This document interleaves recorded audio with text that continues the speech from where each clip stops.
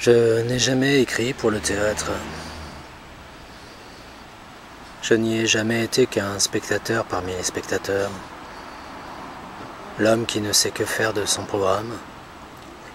Le roule, le pose à terre, quand il n'a pas oublié de l'acheter. Mais tourne une tête inquiète vers les ouvreuses qui n'en ont plus. L'homme qui reste sur son fauteuil en entracte. Les gens lui marchent sur les pieds.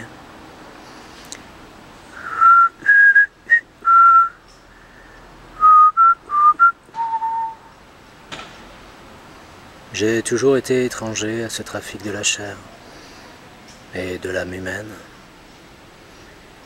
qui fait du comédien le siège des pensées d'autrui, de ses maladies de ses vices. Le théâtre, pour un homme de théâtre, j'entends aussi bien l'acteur que le dramaturge, est nécessairement tout autre chose que ce qu'il est, pour qui n'en a qu'une vue de spectateur. Et si j'ai ainsi euh, sur le théâtre ce regard extérieur, nécessairement nous ne parlons pas de la même chose l'homme de théâtre euh, et moi, quand nous disons le théâtre. D'autant que ma vie à moi est d'écrire, non pour le théâtre, c'est-à-dire un milieu qui existe euh, en dehors de moi, mais pour un théâtre de moi, dans moi, où je suis tout, l'auteur, l'acteur, la scène, où je ne vends rien à personne. Je suis mon propre et seul interlocuteur. Qu'on entende bien que lorsque je dis le théâtre, le théâtre est le nom que je donne au lieu intérieur en moi, où je situe mes songes et mes mensonges. Il faudrait tout relire de ce point de vue, ou tout déchirer. Tout J'entends par là aussi bien ce qui est attribué à l'acteur que ce dont j'avoue être l'auteur. Si j'étais metteur en scène, et il pourrait n'y avoir ni scène, ni spectateur, ni comédien, je ne discute ici qu'avec mon ombre, ou même pas.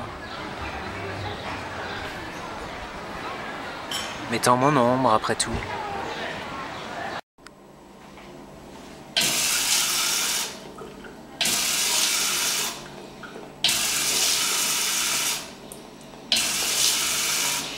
C'est-à-dire euh, peignant les trottoirs et les murs, euh, toujours de ma semblance.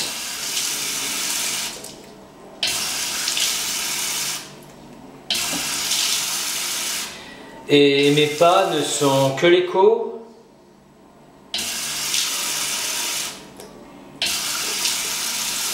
de ma présence.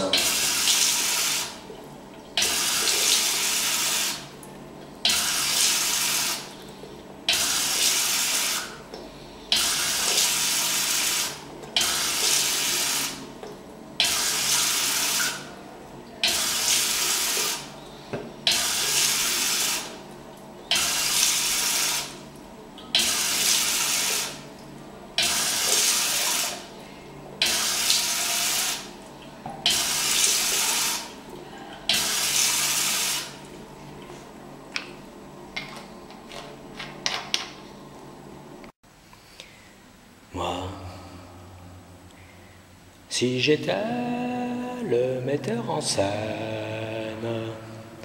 à la façon de Dieu, si j'étais celui qui dispose à la fois de l'apparence et de l'âme, des lieux et du temps, du signe et la chose signifiée, de l'acteur et du spectateur, de l'apparence et du langage, si j'étais le thaumaturge d'un univers passager, où de moi seul dépendent la paix et la guerre, la vie et la mort apparente, les cris et le silence, le rire ou le sanglot, ou pour mieux dire d'un seul coup, sans y rien opposer, le sens de ce qui se joue ou se déjoue, à pile ou face, ma propre existence. Et celle du monde où j'ai voulu, notre destin.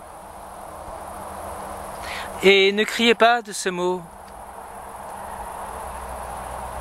car tout théâtre s'écrit d'abord et finalement, aussi bien en termes et destinés, que la pièce soit d'une foule de chair et de sang, ou d'un seul homme, et son ombre.